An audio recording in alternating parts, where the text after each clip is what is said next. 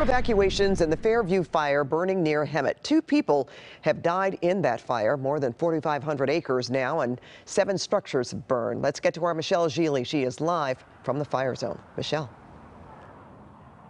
Well, Pat, check out how this scene has changed over the last few hours. There is a lot of thick black smoke behind me here, just beyond this citrus grove. A man watching in his car nearby tells me that this is his neighborhood that we're looking at. His family has already been evacuated. That happened last night. He also says there are a few dozen homes right in the middle of that smoke. New strike teams are rolling into Hemet tonight as flames can be seen on several ridges above East Stetson Road in an area known as Valle Vista and above Bautista Road. The evacuation zones are widening in the area, which is scary for people who live nearby and haven't yet been told to leave. I'm just worried because I was here a couple hours ago just to kind of monitor it, but now it's coming down the mountain and this is what's scaring me. So I just I never would imagine. We see the California fires all the time, but this is really close, so it's a little scary. It's a little scary. Back on the western flank of the fire, Gibbel Road is off limits to everyone as evacuations remain in place.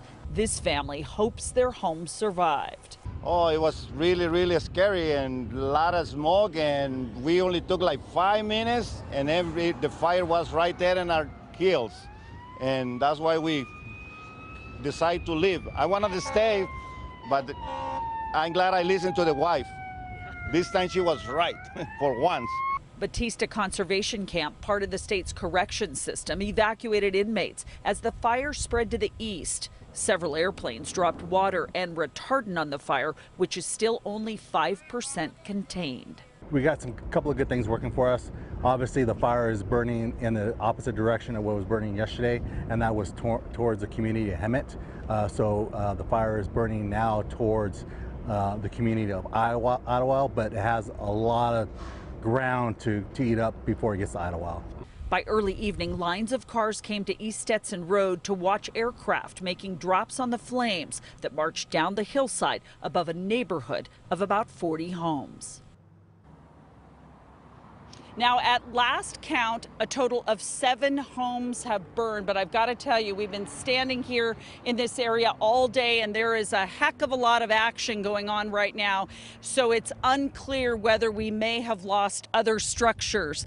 This is a really interesting shot here, Tim Kimball, right off to the right. It looks like a mini kind of smoke tornado there, a, a tunnel of smoke coming down from the sky, dark smoke. I also need to mention that two people have died in this fire zone. We don't know much about the victims or where this happened specifically, but it was in the midst of this fire. Uh, don't know whether the victims are men or women. The authorities tell us they are investigating this, but we've got fire on several different ridges here. Uh, again, the street in the foreground is East Stetson Road. This is a grove in front of me in the foreground of grapefruit and orange trees. And um, we understand that there's an older neighborhood just beyond these trees. And that's where we've seen so many water drops going on. And if you look off into the distance, there are uh, neighborhoods there on the hillside, and you can see the uh, flashing lights of the fire crews there, no doubt going in,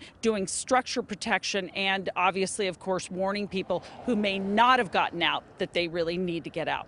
That's the latest live here in Hemet. I'm Michele Gile. Back to you. All right, thanks, Michele. Let's hope people are listening to those uh, fire crews out there and uh, just can't have enough water drops right now.